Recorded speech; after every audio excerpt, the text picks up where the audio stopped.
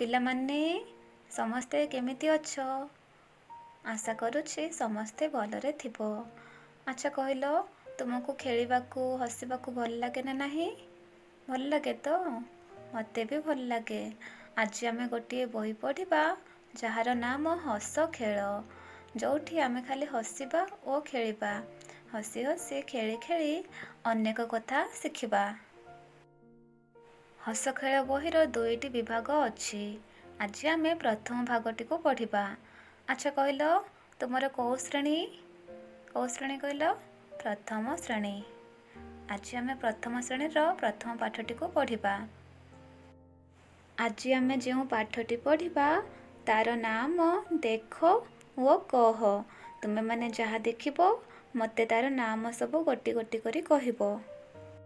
ପିଲାମାନେ ଚିତ୍ରଟିର ଉପର ଭାଗକୁ ଭଲ ଭାବରେ ଲକ୍ଷ୍ୟ କର।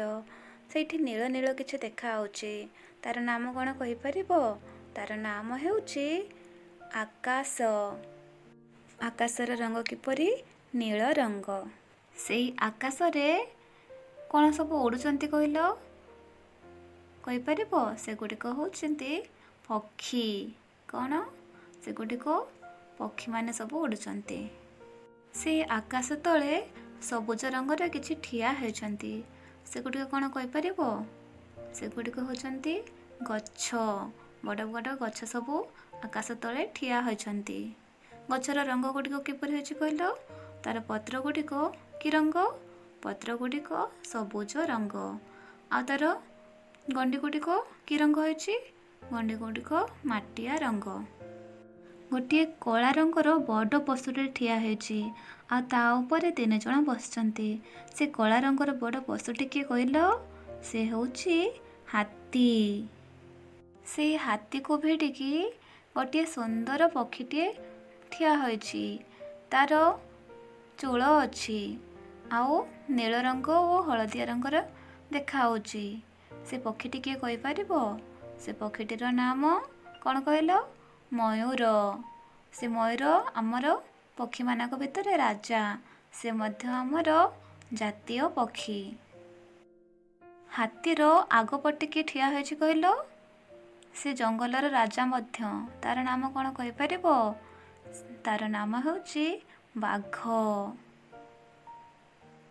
ଆଚ୍ଛା କହିଲ ବାଘ ସାମ୍ନାରେ ସାନ ସାନ ଜୀବମାନେ କିଛି ଦେଖାଯାଉଛନ୍ତି। ସେଗୁଡ଼ିକ କ'ଣ? ସେଗୁଡ଼ିକ ମୂଷା ଛୁଆ। ମୂଷା ଆଗରେ କିଏ ଅଛି କହିଲ? ତାର ବେକ ବାହାର କରି ସେ ଠିଆ ହୋଇଛି ଆଉ ସେ ଧୀରେ ଧୀରେ ମଧ୍ୟ ଚାଲେ। ତାର ନାମ କ'ଣ କହିପାରିବ? ସେ ହେଉଛି କଇଁଛ। କଇଁଛ କେଉଁଠି ରୁହେ ଜାଣିଛ ନା? କଇଁଛ ପାଣିରେ ରୁହେ। ସେ ଯେଉଁ ମଣିଷ ପରି ଦେଖାଯାଉଥିବା ଗୋଟେ ଜୀବଟେ ଠିଆ ହୋଇଛି। ତାର ଗୋଟିଏ ଲାଞ୍ଜ ବାହାରିଛି। ସେ କିଏ କହିଲ? ସେ ହେଉଛି ମାଙ୍କଡ଼। ମାଙ୍କଡ଼ ସାମ୍ନାରେ କିଏ ଠିଆ ହୋଇଛି କହିଲ? ତାର ମଧ୍ୟ ଗୋଟେ ଛୋଟିଆ ଲାଞ୍ଜ ଅଛି। ସେ ହେଉଛି ଗୁଣ୍ଡୁଚି ମୂଷା। ଗୁଣ୍ଡୁଚି ମୂଷା ସାମ୍ନାରେ କିଏ ଠିଆ ହୋଇଛି? ତାର ରଙ୍ଗ ଧଳା ଆଉ ତାର ଥଣ୍ଟଟି ବହୁତ ଲମ୍ବା। ତାର ଗୋଡ଼ ଗୁଡ଼ିକ ମଧ୍ୟ ଲମ୍ବା ଲମ୍ବା। ତାର ନାମ କ'ଣ କହିଲ? ତାର ନାମ ବଗ। ବଗ ସାମ୍ନାରେ ଗୋଟିଏ ବିରାଟ ଜୀବଟେ ଠିଆ ହୋଇଛି। ତାର ଲମ୍ବା ଲମ୍ବା ଗୋଡ଼ ଓ ବେକଟି ଆହୁରି ଲମ୍ବା। ତାର ନାମ କ'ଣ କହିପାରିବ? ତାର ନାମ ଜିରାଫ। ବଗ ପଛକୁ କେଉଁମାନେ ଅଛନ୍ତି କହିଲ? ବହୁତ ସାନ ସାନ ଜୀବମାନେ ସେମାନେ। ତାଙ୍କର ନାମ କ'ଣ? ତାଙ୍କର ନାମ ପିମ୍ପୁଡ଼ି। ପିମ୍ପୁଡ଼ି ପରି କେଉଁମାନେ ସାନ ସାନ ଅଛନ୍ତି କହିପାରିବ?